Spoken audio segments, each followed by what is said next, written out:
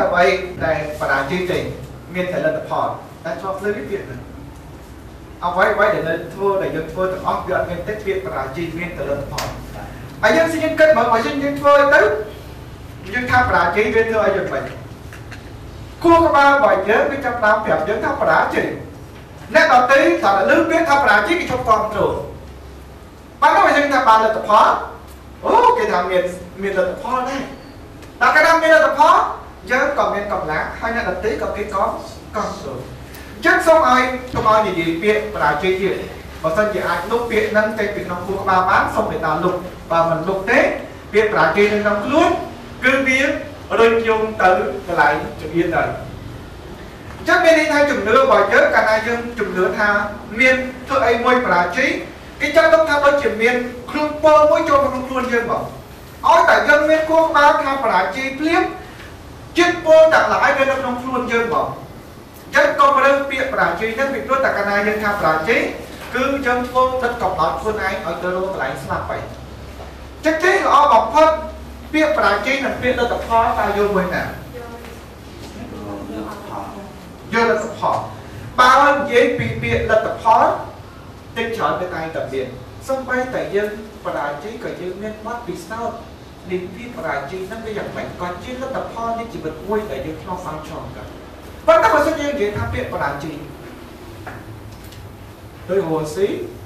ហូស៊ីបើខាងទៅសម្រាប់តែលោកគេថាបរាជ័យ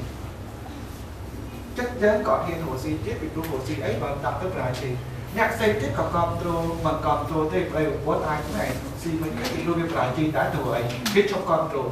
តែកាលណាពាក្យប្រាជ័យគឺពាក្យនឹងអវិជ្ជមានចូលខ្លួនយើងមក ប៉ុន្តែបើសិនជាចង់ឲ្យមាននេះគឺត្រូវលុបពាក្យប្រាជ័យនឹងចោលឲ្យតែដូរវចនានៅក្រមខួរក្បាលរបស់យើងដូរដូរភាសាបរាជ័យចេញឲ្យទៅជាភាសាលទ្ធផលគឺអ្នកធ្វើអីត្រូវតែមានកម្លាំងប៉ុន្តែបើសិនជាពាក្យបរាជ័យនៅក្នុងខ្លួនតែកាលណាវាចេញមកយើងថាបរាជ័យកម្លាំងទៅបានលុតអស់ហើយបើកាលណាកម្លាំងគួរក្បាលរបស់យើងទៅបានលុតអស់គឺយើងអត់មានអាចធ្វើអ្វីតទៀត ហើយពេលដែលបរាជ័យគឺជាពេលដែលយើងធ្វើច្រើនខៅតែធ្លាក់ក្រោមវាមិនមែនដំណើរជីវិតតែធម្មតាទេបើដំណើរជីវិតធម្មតា